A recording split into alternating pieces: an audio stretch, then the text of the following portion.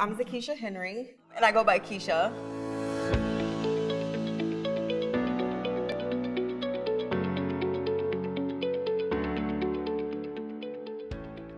Definitely kids. My um, once I had my kids, it pushed me a little further.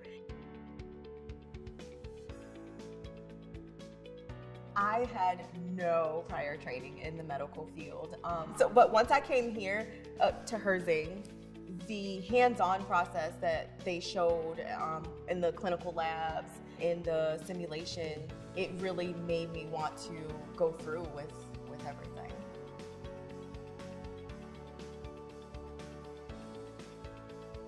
My friends. I have a best friend. We are like yin and yang. Um, I met her at Herzing, and we, she and I, as well as our kids, are inseparable. Anytime we get a schedule change, we are sure that we have the same class.